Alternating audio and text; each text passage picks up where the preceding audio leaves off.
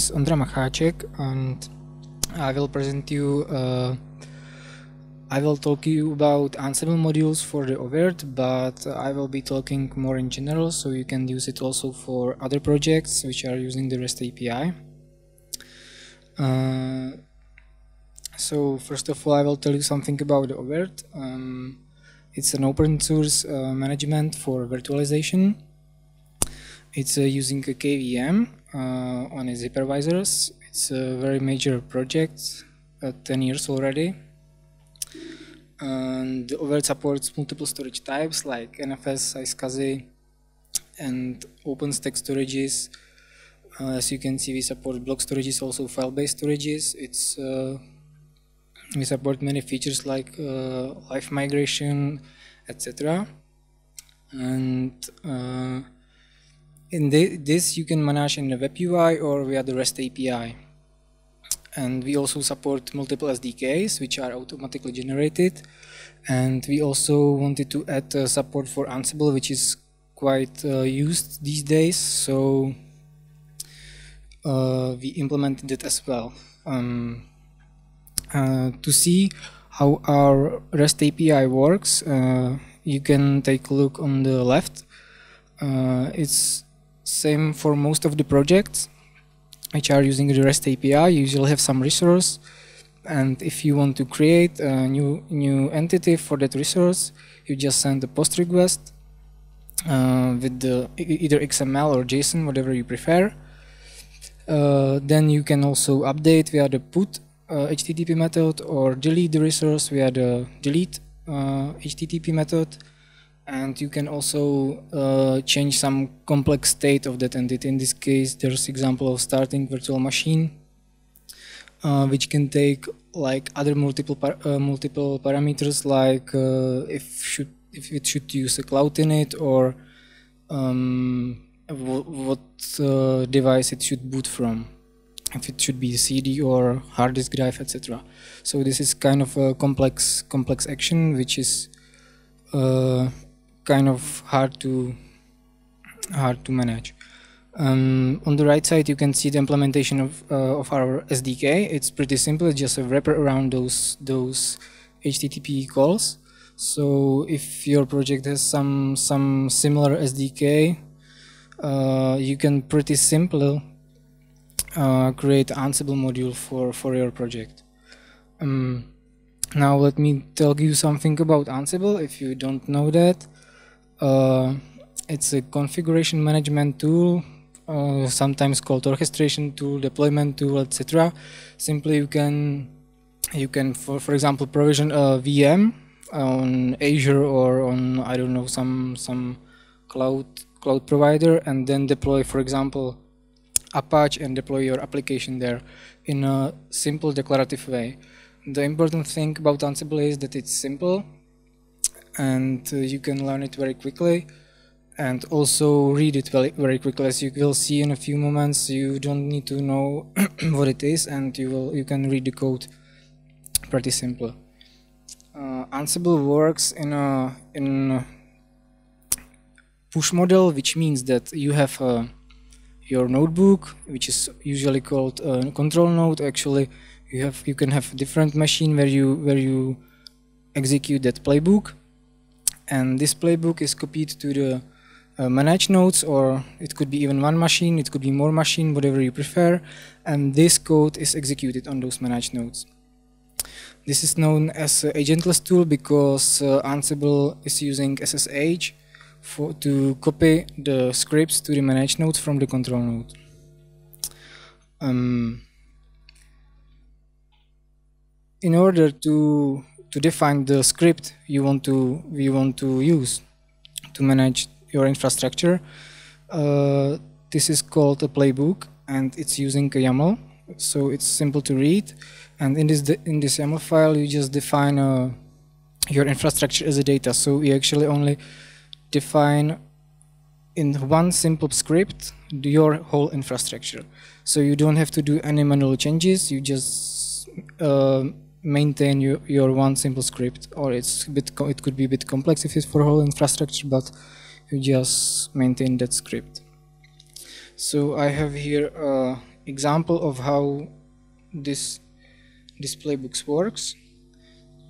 So as you can see, you just create a simple simple YAML file, and at the end we need to define where where this playbook is uh, executed. In this example, it's a localhost machine, and we're using a local connection, so we don't have to use uh, SSH if it's just a local machine. Then another important element of the playbook is the tasks. The tasks means what all the what all things should be executed on that machine. Um, you should always name it properly because you will see it in the output and uh, it will document what the what the playbook is doing. In this example, we will we use a file module which just create the directory um, with a specific permissions, in this case 755. Uh, so to really understand what it does is so you can see if you execute it with a simple simple simple command ansible playbook you will see the output where it was executed this is not important it just fetches the facts from that machine and then this says that it uh, created that that directory if we check that, you can see that it was indeed created with that permissions we, we wanted. If you execute that playbook, you can see that nothing was changed because it's as we want that. If we change manually the permissions and re-execute the playbook, you will see that Ansible will handle and it will change the permissions back.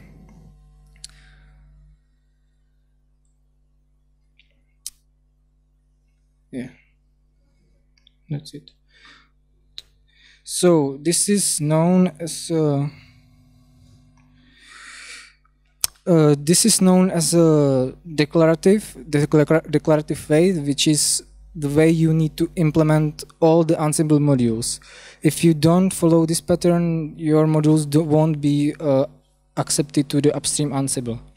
The other important thing about the module, if you will implement it, is that it must be idempotent, which means that if you if you execute the playbook uh, or your module one time and then it will set the set the set the status of the system and then you execute it again and again it must be still in the same state as it was when you executed the first time uh, those modules are uh, the whole ansible is implemented in uh, python and most of the modules are, are implemented in Python as well, but other languages can be used. So it depends on you, but 100% is, is implemented in Python. Uh, if you, uh, in this case, what I will be talking about is actually implementing uh, modules for some, some REST API resources. In, in this case of the oVirt project, it was virtual machines, clusters, disks of the virtual machines, etc uh, you should always handle the specific resource of your REST API in a specific Ansible module. If you want to, for example, manage some some more complex stuff like uh, virtual machine and its disk and its snapshots, you should you should uh, split it into the multiple modules, and then you should you should glue that into the roles which will handle some complex tasks. So so if you want to implement the modules for your for your uh, REST API, uh, usually you have many resources, many entities, those entities has many attributes, so there is a lot of things you have to do, which you don't want to because it's a lot of code to write. So what we what we wanted to do is to auto-generate it as, as we do our SDKs, but the problem is, as you can see on the left, um, is that uh, this is really imperative and not a declarative phase. As you can see, we use an action, and for that action we have some parameters, and it just creates a VM, and we don't we don't know if it's created or not. We just we just uh, get the status if if it was created or not, but uh, we don't wait to be actually created that VM.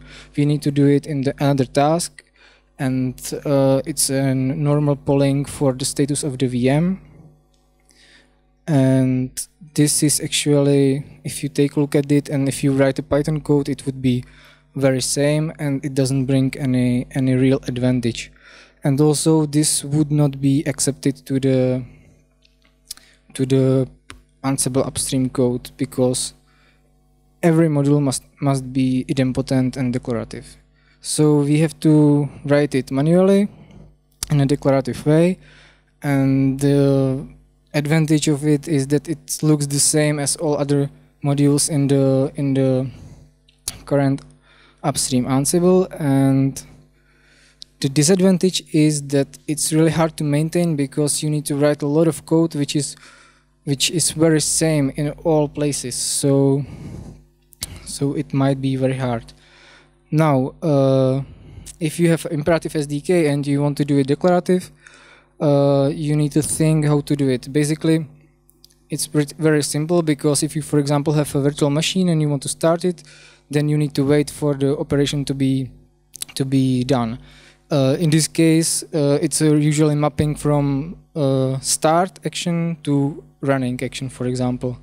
Or if it's a create operation, then you just need to change it to present. So it's usually action plus some waiting operation. The problem is that uh, REST API, different REST API uh, behaves differently if you do different actions. So, uh, for example, some REST APIs could return you a link to the job reference, for example, or some queue reference, and where you can pull the status of the of the of that action. So and different different actions can return you just an element to that entity and you need to pull that specific element for that status some different actions doesn't have to return you anything so you need to for example pull some events in the in the database or or other stuff so you need to you need to know your REST API very well so you can implement all the entities in the correct way. And it doesn't have to be always a generic. Uh, another way which you have to do in order to implement correctly the module is the is to make it idempotent. So that means that you should not do some action if it's not needed. If you take a look into the Ansible at any Ansible module which which usually manage some some project like OpenStack, Azure, AWS, etc. Uh, you will see code like this. It's very simple. If the entity should be there, you check if it's there. If it's not, you create it and wait to be created.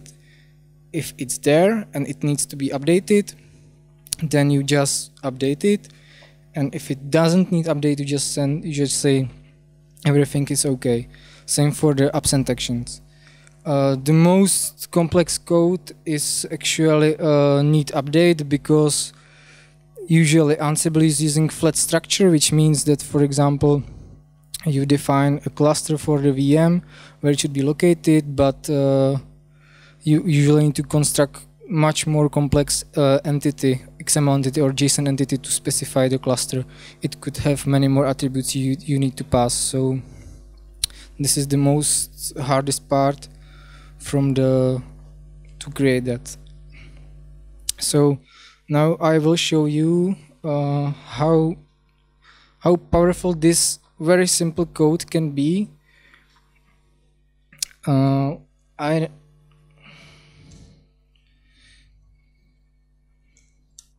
I have here a very very simple very simple playbook with just a create data center. We have some resource API slash data centers and we created a module which is really really simple. It just do there is just this code, very simple code and now I will show you how how powerful that code that simple code is as you can see here.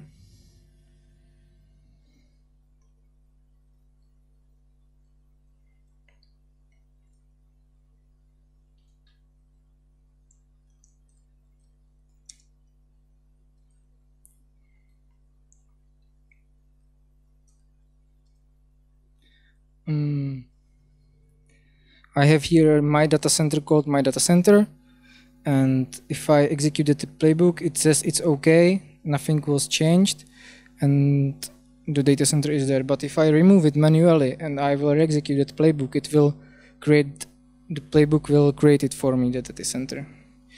And I have here some specification how the data center should look like. For example if it should be local the description and if I change that um, to something different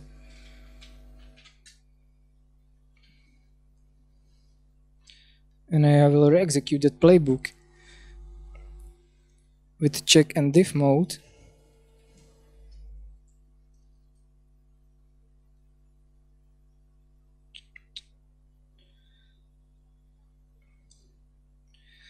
Uh, you will see that the Ansible will tell me that that the data center oh sorry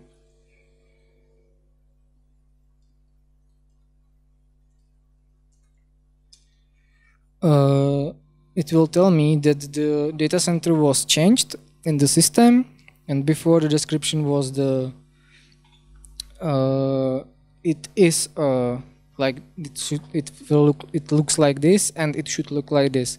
But it didn't change it because I said just check the system and don't do any changes. If I will remove the check parameter uh, it will change that system and it's in the state I want it to be defined. So this is uh, really powerful.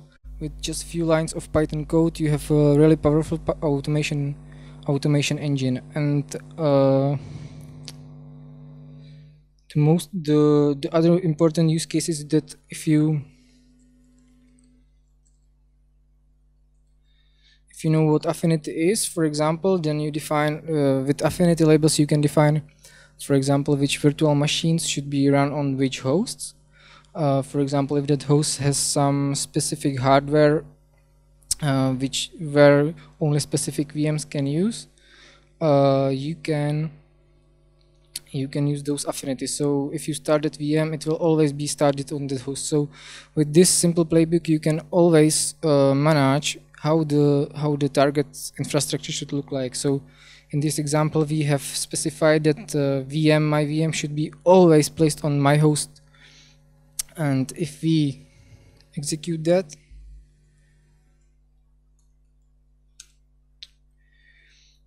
uh, this this uh, is created. And now if some administrator which which change this change that manually in the system uh, which he should not because you should tell those people that you should always manage your infrastructure in a playbook and manage it so no one manage it in manually. So if for example he will add another VM to that host like this and you can for example create a cron job which will run this this uh, command every night and you can see that some uh, some different administrator uh, add a new VM to that to that system manually. So you tell him that he should not do it but he should always change the playbook you have and define that infrastructure as a data. So this is a powerful tool with just a few lines of code.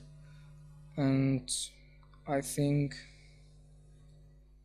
that's all I wanted to show you so I have here just a few links. If you want to take a look at the implementation uh, of the Ansible or if you want to check the Ansible how, how are those modules implemented you will see that it's really simple. And that's all